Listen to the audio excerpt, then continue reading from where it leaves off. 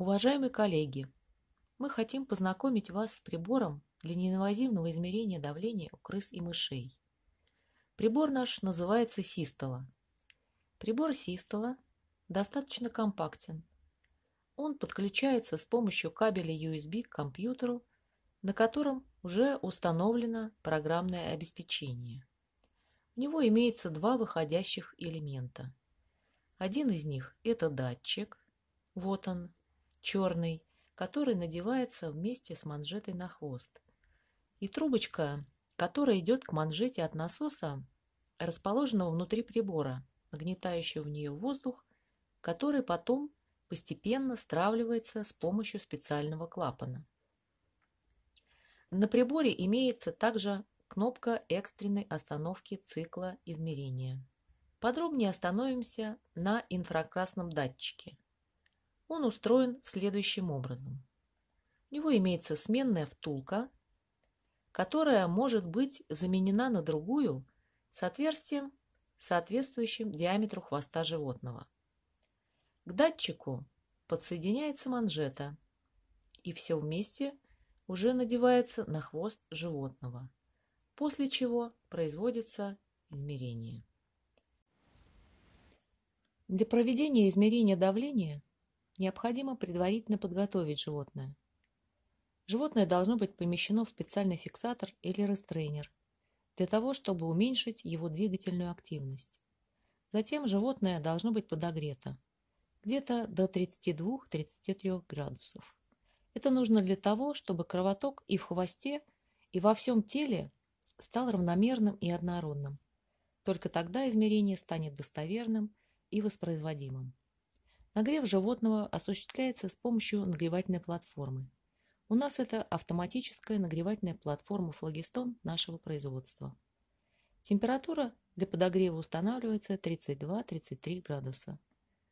Имеется датчик, который позволяет измерять температуру непосредственно у тела животного.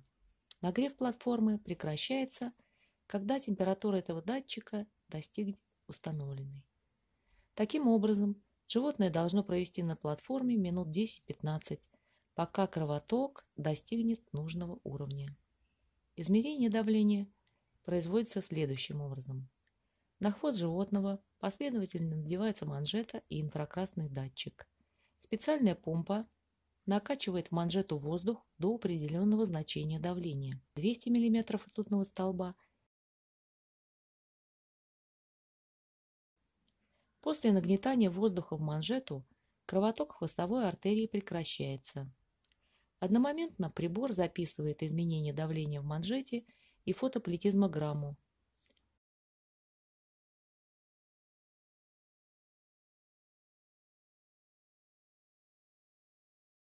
На фотоплетизмограмме мы видим нулевую линию. Кровотока нет. По мере того, как давление в манжете стравливается – оно в какой-то момент сравнивается с систолическим давлением в хвостовой артерии и становятся видны первые пульсации на фотоплетизмограмме. Этот момент как раз и является значением систолического давления. По мере снижения давления в манжете амплитуда на фотоплетизмограмме начинает увеличиваться и в какой-то момент выходит на первоначальный уровень, выходит на плато. После окончания цикла измерения Прибор предлагает сразу сохранить данные.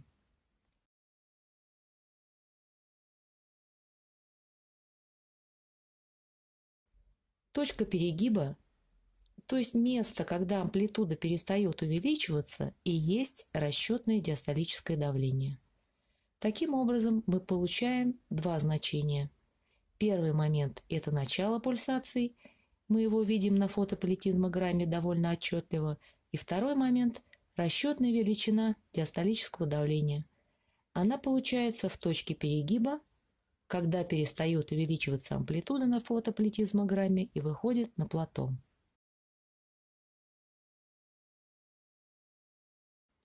Определить точное положение метки автоматически иногда довольно проблематично из-за того, что возникают какие-то артефакты – дыхательные или двигательные – в таком случае предусмотрена возможность вручную передвинуть метки в то место, которое вы считаете необходимым. Вам остается только сохранить файл с изменениями.